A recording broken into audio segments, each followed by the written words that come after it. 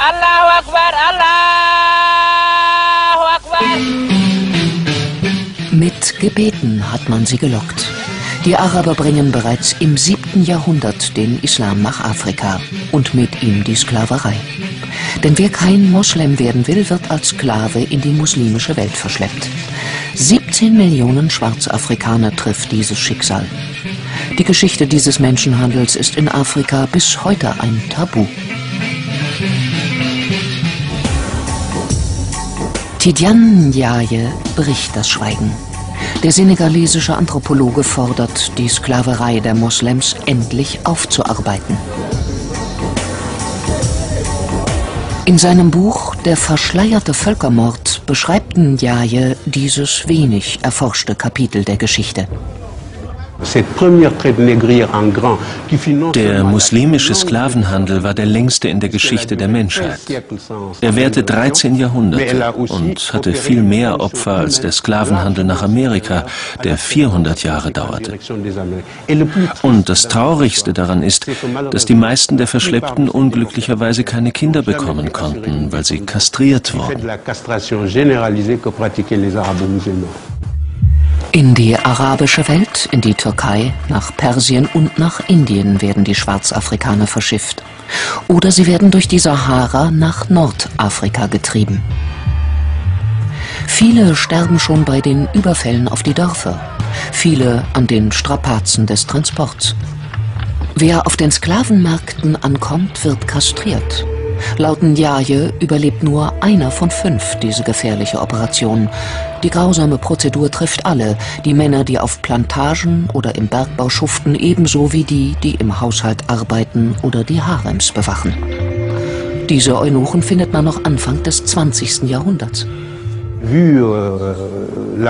Die Araber und die Nordafrikaner waren Rassisten. Sie verachteten die Schwarzen.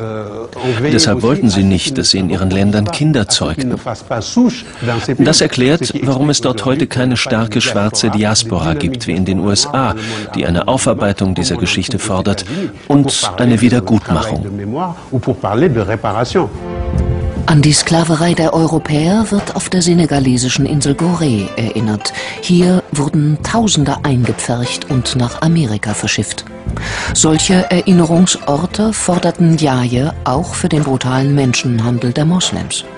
Der ist für ihn ein Völkermord, denn ein Volk von Kastrierten kann keine Nachkommen zeugen und stirbt zwangsläufig aus. Die Versklavung geschah übrigens im Namen Allahs.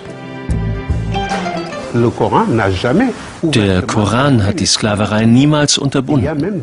Im Gegenteil, es gibt viele Stellen im Koran, die die Versklavung von Nichtmuslimen empfehlen.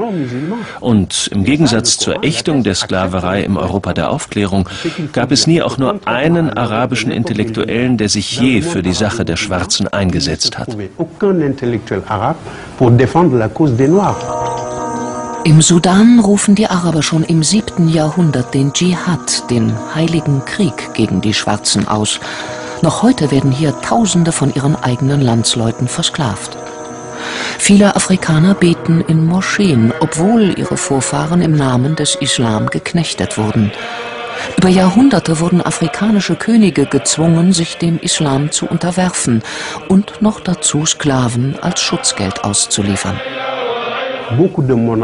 Durch die Islamisierung wurden die afrikanischen Könige zu Mittätern. Wer sich dem Islam unterwarf, konnte der Versklavung theoretisch entgehen. Wer kein Moslem werden wollte, sollte gezielt gejagt werden. Das war der Grund für die Kollaboration und das entfachte viele Kriege zwischen den afrikanischen Völkern. Die Europäer schauen bis ins frühe 20. Jahrhundert zu. Obwohl sie den Menschenhandel längst verboten haben, dulden ihn die Kolonialarmeen vor Ort.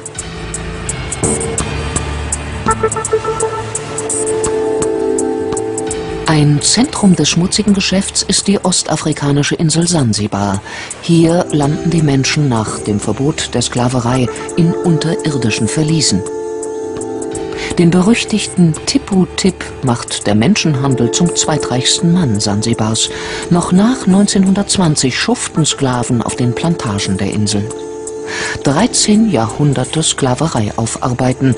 Dafür gibt es offenbar weder in Afrika noch in der islamischen Welt Bereitschaft.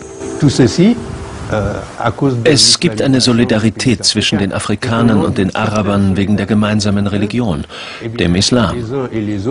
Man zieht es vor, über diese schmerzhafte Geschichte nicht zu sprechen. Man richtet die Aufmerksamkeit lieber auf die Schuldigen, die alle schon kennen, die Europäer und die Amerikaner.